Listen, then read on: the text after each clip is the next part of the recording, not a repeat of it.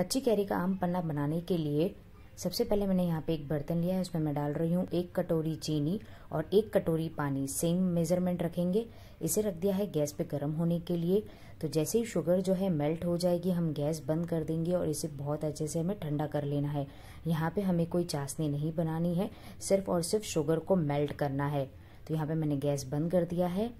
उसके बाद मैंने यहाँ पे एक कच्ची कैरी ली है। कैरी को बहुत अच्छे से धो ले धोने के बाद इसका जो छिलका है, वो निकाल लिया और इसे छोटा छोटा इस तरह कट कर लिया है।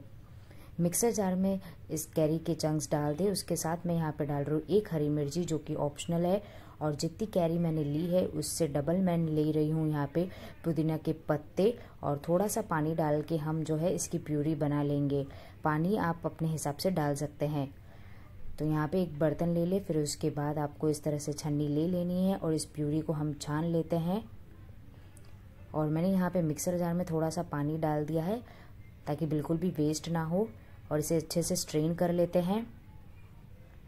तो यहाँ पे टोटल मैंने ढाई ग्लास पानी डाला है। पानी की क्वांटिटी डिपेंड करता है कि कैरी कितनी खट्टी है।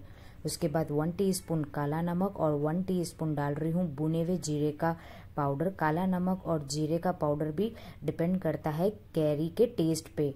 उसके बाद यहाँ डाल दिया है शुगर सिरप शुगर सिरप आप अपने टेस्ट के अकॉर्डिंग डालिएगा, जितना मीठा आपको पसंद है।